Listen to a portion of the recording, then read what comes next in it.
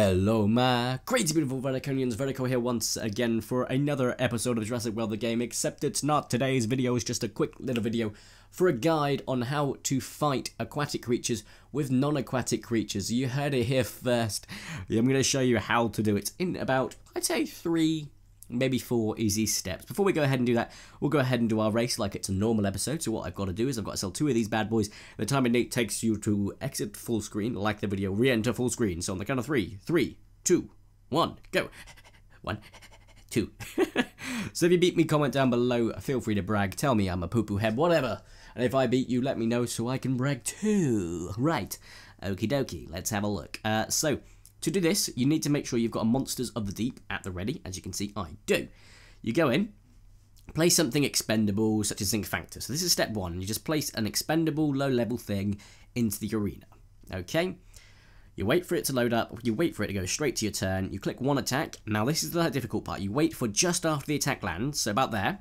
Okay? You exit, you go straight back in, so don't even give it a break. You, you, can, you can come back to this later on if you want to. You can get, get it ready for later on and then do it later on. But anyway, you click continue. So the first time you've done it, you click continue. You do it again, okay?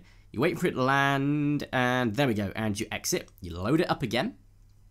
Wait for it to load as I do. One, two, three, four, five, six, seven. Right, and then you concede, okay? Step one, get something expendable. Step two, you do two battle, uh, well, two two attacks at different intervals. You attack, you quit literally as it lands, re-enter, attack again, quit as it lands, rejoin, but this time concede rather than continue, and then you go straight into the battle of your choice. So if we go ahead and go for say this one, uh, oh yeah, let's go for this one, and then. Uh, we just go get our tops out, so we just go ahead and go da da da like so, and boom, you should be able to, there we go, you should see you are straight underwater.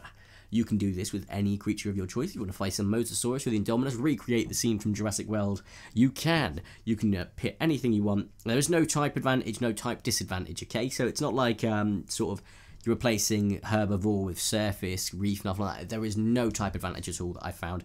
It's just that most of the aquatic creatures are weaker. This is also a really useful tactic for tournaments. You can have, say, one creature at the front, so Say if you're going against low-level Spheroderma in the first round, you enter it, you leave it, you quit, you redo the whole thing, and then you use that one battle for whatever you need to, be it tournaments, anything, and boom, you've got an easy win. Uh, so yeah, I'll go ahead and just finish this off. But guys, if you have... Oh, I won't actually. I've been very scrub-like. we'll just give it up. I'm really not fussed. Uh, oh, Indominus under the sea. guys, if you are enjoying the video, or the series, I should say, make sure you drop a like down below. If you found this really useful and you haven't already, make sure to subscribe and join my crazy bit of an occurrence. And if you didn't enjoy the video for whatever reason, feel free to dislike, but do tell me why.